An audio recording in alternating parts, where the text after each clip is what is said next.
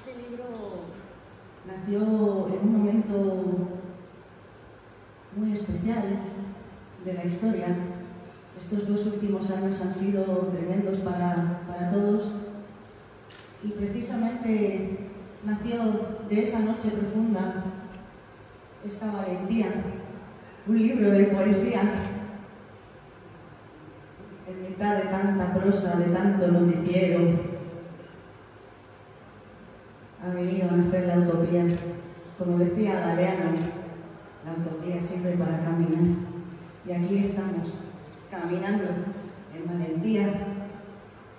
Y que digan lo que quieran los sembradores de desiertos, de abrazos rotos y flores marchitas, que mientras haya flores, habrá poesía. Por si algún día no las hubiera, y sea el poema quien se lo recuerde.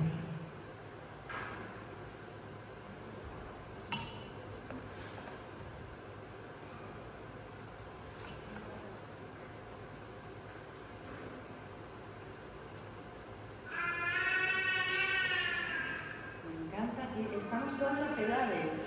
Aquí no, no hay. No hay edad, no hay edad. Desde pequeñines hasta esos niños y niñas internos, más allá de los años que tengamos, siempre están ahí. Ese es el que baila con la poesía, ese es el que siente, ese es el que emociona. Esa es nuestra esencia.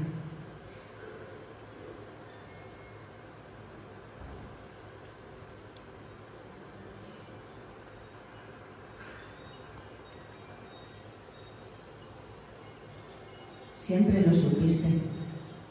Y de verdad que lo intentaste. Pero nunca lograste encajar en ningún molde que no fuera la libertad. Eres diferente. Eres esa flor rara y brillante que crece en los desiertos y calma la sed de las nubes. Eres esa perla brillante que hizo de su herida una obra de arte. Eres la que habla con los pájaros, la que canta con los truenos y baila bajo la lluvia.